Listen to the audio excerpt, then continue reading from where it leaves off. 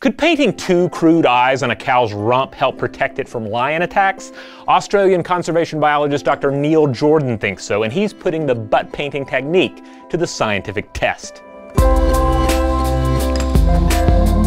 Here's the reality. The African lion is a threatened species, and human expansion puts cattle grazing lands in ever closer proximity to the wildlife areas that lions call home. Lion attacks on livestock hurt hardworking farmers, and retaliatory attacks cut into lion populations. If only there was a non-violent way to protect the cattle. That's where the eyes come into play. Just a crude pair of finger paint peepers, one to either side of the cow's tail nose. Since lions are ambush hunters, they depend on surprise attacks. If they think they've been had, they'll abandon the hunt, or at least that's the theory. Jordan, who holds a post with the Botswana Predator Conservation Trust, recently held a 10-week trial of the strategy, painting eyes on one-third of a 62 cattle herd. Three unpainted cows wound up as lion chow, but none of the eye cows fell to predation. That's a small study size though, so Jordan is currently rolling out an $8,000 crowd-funded study that entails more cows, 10 GPS cattle trackers, and one GPS collar for a lucky lion. If the findings prove that the eyes have it,